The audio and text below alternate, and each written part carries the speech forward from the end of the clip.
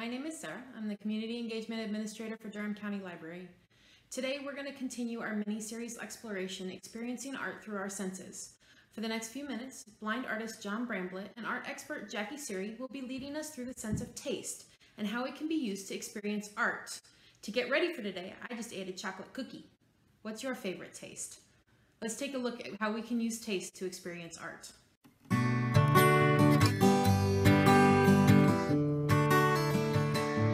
Hey guys, welcome back to the studio for what I think is going to be my favorite week yet. Taste. Yeah, it's all about flavor this week.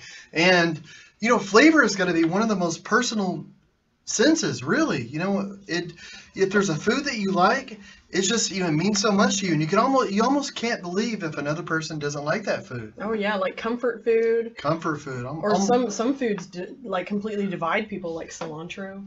Oh my goodness, yeah, I don't like cilantro. I love it. Almost all food is comfort food to me, but not cilantro. It tastes like soap to me. Yeah, yeah, that's interesting. You know, and I, I know a lot of people say it tastes like soap, and other people just love it. You know, but um, it's Yeah.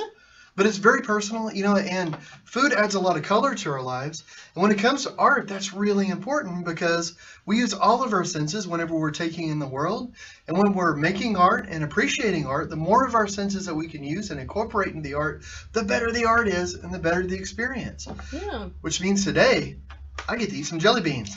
lucky. Yeah, yeah, and you know, one of the things when it comes to art, like I, I use the sense of taste quite a bit in my paintings. So I'm gonna open these up here and see if I can get most of them on the table. But the way that I that I use them in my artwork is that I'll, I'll taste something, and it'll give me the idea for a, a color. And it doesn't necessarily have to be what the color of that object or the thing that you're eating is. So here, let me um, or do, or do you want to pick one out, or, or you want me to- Mm, Maybe this one. Try this one. Okay, and I, I can't see the color of it. You can see the color. So Yeah. you know what the color? Okay, before before I have to you know get rid of it. Mmm. Well, I like it. Never met a jelly bean you didn't like. That's true. Mm. You know? Wow. That's a little different. Almost has like a tan sort of color. Really? Yeah, along along with um, like a really light green. It just, it just seems like it like it's Hmm. Like it's sweet, which is almost like a yellow color to me, but it has like a greenish, more greenish tan. Oh. What, what was the real color? It was green. It was It's green. What do you think the flavor is then? I'm not really sure on that one, to be Maybe honest. an apple. It's- Yeah, it might. You know, it might. It might be like a Granny Smith kind of apple. Okay. You So want to try one more? yeah, let's do another. Uh, I'll try as many as you want. oh, thank you. Okay. Here we go. Now. Mmm. Mm. This one's easy. This is popcorn. Oh, okay. So, um, but to me, the flavor though, again, it kind of tastes brown, but it tastes yellow, hmm and um, a lot of yellow. But I know popcorn is white, but I'm not really getting any white Oh. at all. So uh, actually, some red, a little bit of red. Oh, interesting. But that's that's that's the colors that I have, and whatever colors that you come up with, that's perfectly right. That's great. That's that's your experience of it, and that's what makes it interesting. Well, you know, you have a thing called synesthesia. Mhm. And so John did a painting of a Hershey bar, and um, because of the synesthesia, you experience that completely different. Why don't you describe that for us? Yeah, and synes- synesthesia just means that you have one sense that's sort of doing the work for other senses in a way. So whenever I hear music, I see color. Whenever I taste um, different flavors, I'll see different colors. Um, with a Hershey bar, now I know that the chocolate is brown, but it doesn't taste brown to me.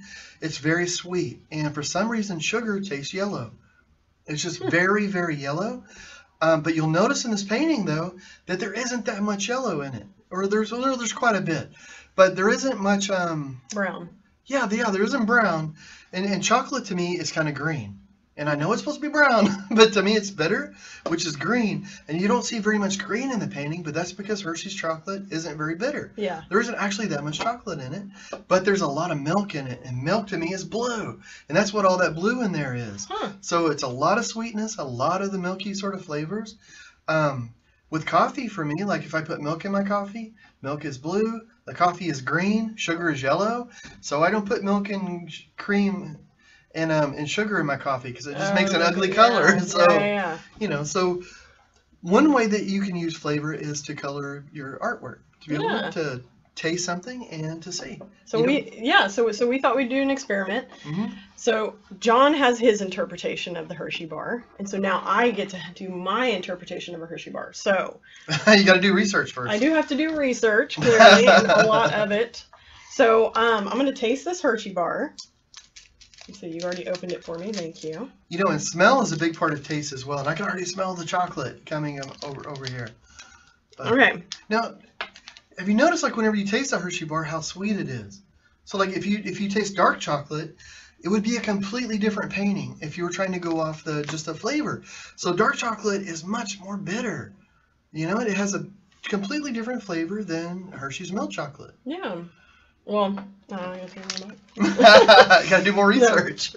but it's interesting. I, I I taste this, and naturally, because you can see it, you think browns with with all of it. But if I'm to put that aside and really think about the flavors, you know, I imagine a very different painting of a Hershey bar than what you did. Oh, but that's not brilliant. brown.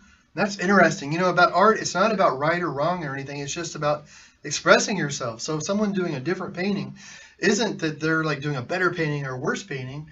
It's just that they're doing a different painting. They're doing their interpretation. Yeah. I yeah. want to see that. Yeah. Well, well, I'm gonna give it a try.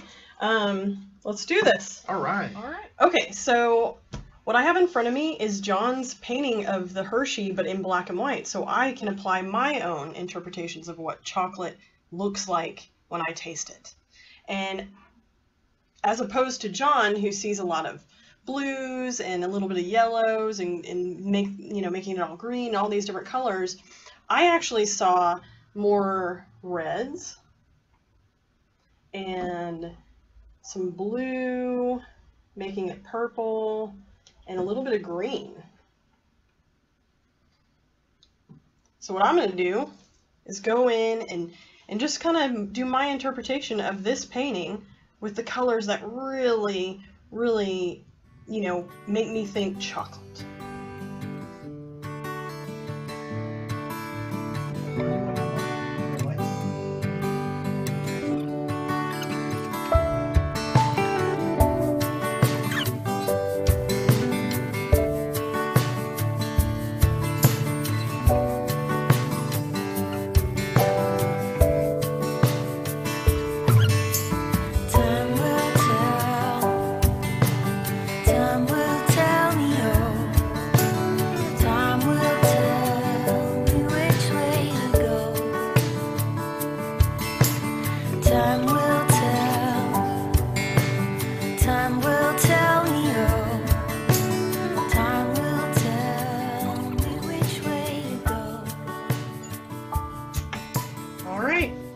Would be my interpretation of a Hershey bar. Oh my goodness. I wish I could touch it to see what it feels like, but I don't want to smear it.